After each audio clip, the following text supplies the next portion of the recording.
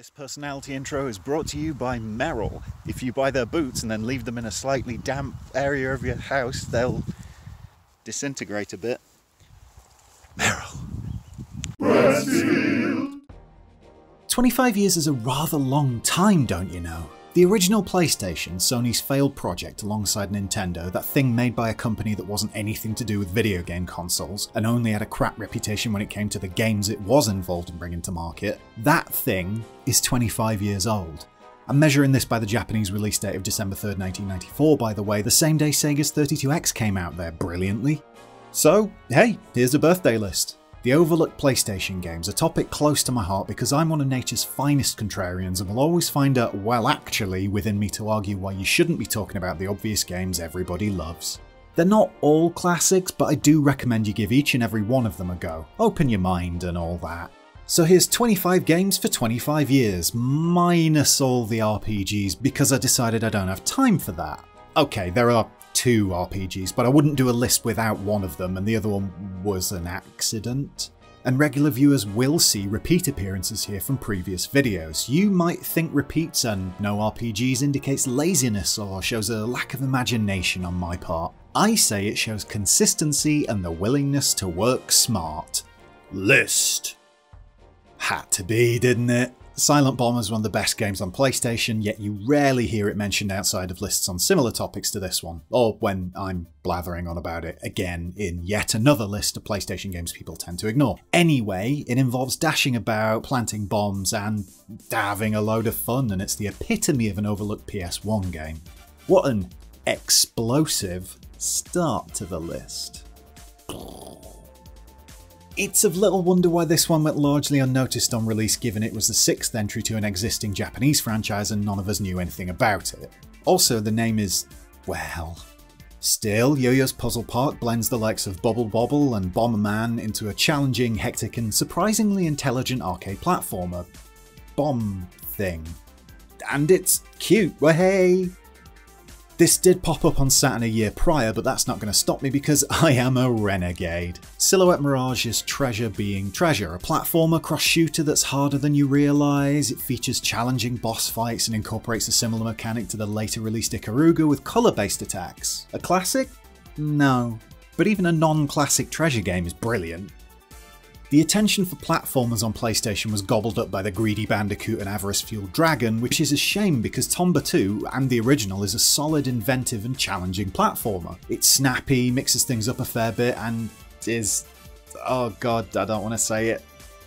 Charming? Ugh. We don't adore guns in Europe, so the name was changed from the States as Trap Gunner. Still, it's the same game. A mix of spy versus spy and Bomberman, you're plopped into arena and made to fight an opponent by laying traps for them, and sometimes punching and shooting them naturally. It's a change of pace from the usual one-on-one -on -one fighters, and it's still an engaging distraction for half an hour. There's something about plane racing that doesn't work. I think it's like Formula One. The speeds are so high, the distances of courses have to be increased massively to cater for the vehicles, and as such you get no real sense of speed from watching the action. I have no idea why I'm blathering on about this, but hey, N-Gen racing is good fun and should have had more attention back in the day.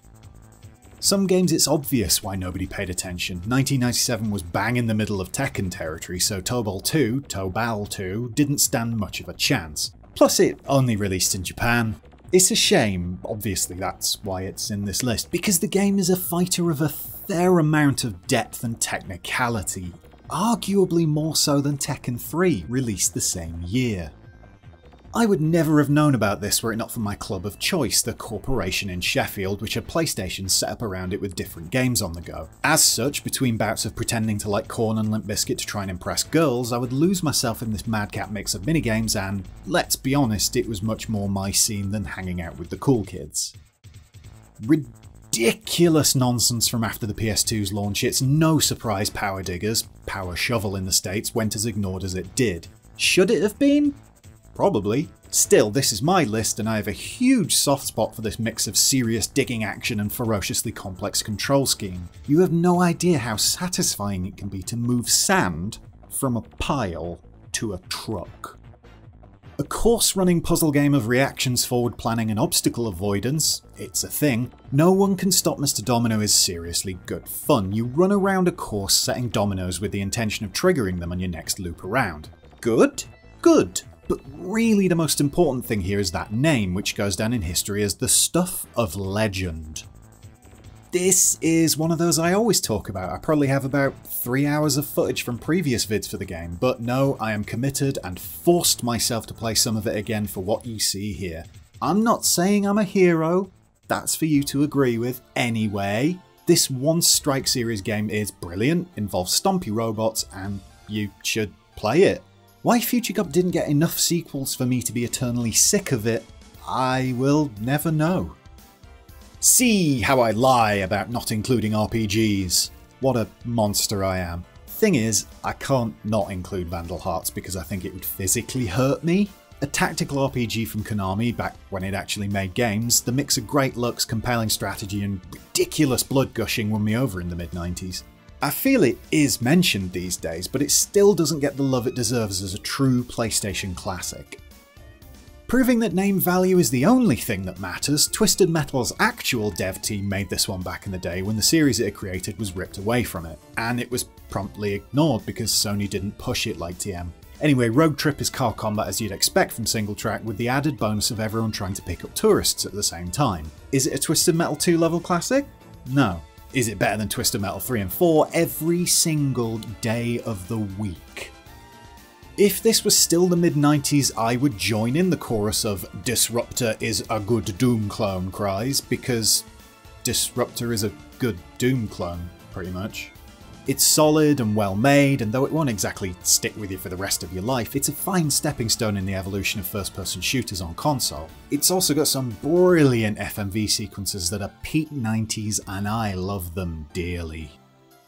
It's a bit of a glorified tech demo, Stop laughing at the back, this was quite impressive in 1995, but Aquanaut's Holiday is also one of those fine examples of a game where you can just be. Even the manual for the game talks about how there are no real goals or expectations, it's just about underwater exploration. And failing to communicate with sharks if my experience is anything to go by. An arena shooter like, what? Geometry Wars, Smash TV, any number of shmups? Yes, but SanVein is also completely its own thing, and it's surprisingly brilliant as well as almost entirely ignored. It's also so very of its era with that thumping drum and bass soundtrack, but hey, I really enjoy this one a lot and you rarely hear it mentioned, so it fits here nicely. The karting game we all turn to on PS1 is Crash Team Racing, fair enough. Maybe Speed Freaks if the Bandicoot's not your bag, but it's Toy Story Racer that, to me, is the surprisingly overlooked one. It's, dare I say it, good. Alright, it's for children and there's little in the way of actual challenge, but it's smartly made, very much in keeping with the Toy Story world, and you get to play as an RC car. That's one of the characters. A car. Because it's a toy. Brilliant. I'd say Team Buddies got buried in the hype, both for the then imminent PS2 and because it was all naughty and had swearing in it and that. This is a shame, because it's a solid and unique take on team-based building and combat offering genuine, though simple, strategy and a really fun little game of resource management and shooting each other in the face. Also, they swear! But not in the American version because censorship. Based on the Scarlett Johansson film and somehow released 20 years before it, I don't get how that works, Ghost in the Shell shouldn't have been any good, you know, like the film it's definitely based on. Except it is good, and you control a tick-like tank that can walk almost anywhere, and it's fun, and just like having incredible knowledge of films and the games based on them, isn't that all that matters? The forgotten third child of the series, Red Sun, mixes up the A to B story-led approach of the first two Colony Wars games and offers you the chance to pick your missions as well as fly around on the surface of planets. Yeah, I know it doesn't sound like much, but hush down, this is a great game. Its only faults were that it came after two better games in the series and that the story was meh. I would like this series to return please Sony, thank you bye. If you remember Return Fire, I can just say War Games is a bit like Return Fire and we can all go to bed for some well-earned rest. I fear that won't be the case though and I'll have to explain more. Well, War Games, right, it's a game, right? About war, yeah? It's based on the Scarlett Johansson film- wait, no, not that. It's based on the 80s film, though has little to do with it, so really the important thing is that it is, as they say, surprisingly good. Ah, yeah, this is also an RPG, damn it. But I can't ignore Kingsley's Adventure because the little dagger toting Orphan Foxes game is a sweet little Zelda knockoff on PlayStation, and it's not like the format had many of those. I wouldn't go so far as to compare it to Nintendo's Legendary Series quality wise, but Kingsley plays a fun game, offers a solid distraction, and went broadly unnoticed on release for some reason. Runabout in some places, the far weirder European title of Felony 1179 is how I know this smashy, drivey lark. It's basically a lot of crimes involving driving from point A to B, picking stuff up, smashing things on purpose and by accident, and having mild seizures at the warping and flickering textures. I recommend it as one of those games from the post arcade period that evokes a very specific sense of time and place in gaming. Also, it's fun to smash stuff. Imagine a world where Gunstar Heroes wasn't on your home format, but you wanted it there, so you snapped up a game that looked and played a bit like it and released it exclusively on your console, and the game was half decent, but also way too easy and not that interesting. You've just imagined Rapid Reload! It's by no means the best, but it's still definitely worth a pop. This has to go down as one of the all-time most surprisingly good games. I mean, why the hell should something based on a garbage low-budget TV show that I adored be any good at all? And yes, World's Scariest Police Chases is the sequel to Chase HQ I never thought would happen. No, not literally, calm down. Car chases are fun, and it has just enough of the actual show about it to give it character. An unexpected treat, and probably my favourite truly overlooked gem on PlayStation. And that's a list with only two RPGs because I'm kind like that. Maybe I'll do another RPG focused list at some point, but I'm happy enough with this one. See you next time with the PS2's 25th birthday, which is in March 2025, so at least I have a short while to gather together all the games for it. Bye!